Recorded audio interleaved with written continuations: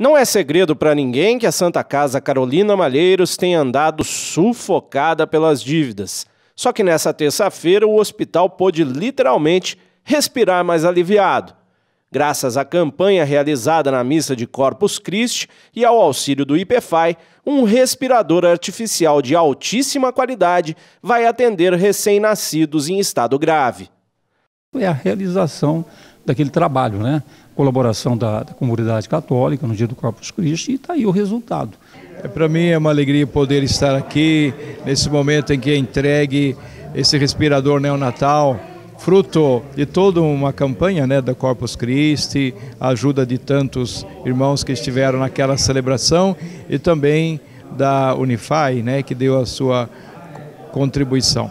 Então, neste momento, a Santa Casa é qualificada para poder atender essas crianças do neonatal e, como igreja, certamente fica sempre um empenho né, de respondermos às urgências, necessidades da saúde, né, junto à Santa Casa, que está se empenhando de todas as maneiras para superar as suas dificuldades. Olha, o IPFAI foi a, a, pedido da Santa Casa né, para que colaborasse com a aquisição desse respiradouro e nós, eh, como somos uma entidade que não visa lucro né, e a gente tá, atua nessa área de ensino, na área principalmente de colocar estagiário no mercado, nós é, separamos uma verba para que pudesse complementar a aquisição desse eh, respiradouro.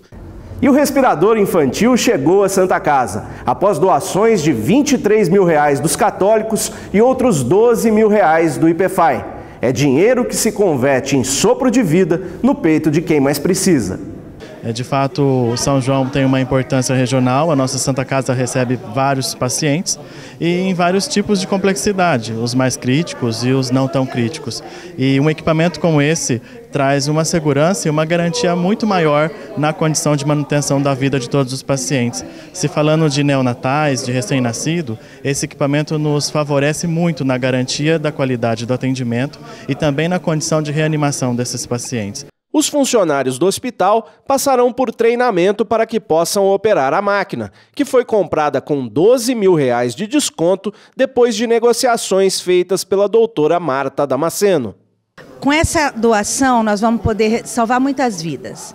É, os nossos bebês prematuros que nascem aqui na cidade, rotineiramente têm que ser transferidos né, para uma UTI. E esse aguardar, o tempo que eles ficam aqui na Santa Casa, com essa máquina nós vamos dar condição e muito mais segurança, garantindo a essas crianças a possibilidade de sobrevida sem nenhum risco, sem nenhuma lesão ou problema que possa acontecer, caso ele não seja ligado, conectado a um equipamento como esse. Nós somos uma grande família de todos os humanos, né? E, ser cristão é servir a humanidade. A igreja não é gueto, a igreja é servidora. Então, quanto mais a gente se abre para que a saúde, a educação, as urgências né, básicas da vida, suas necessidades sejam atendidas, é Cristo, né? Vida para o mundo, né? E Ele vem dar a vida para que tenhamos vida.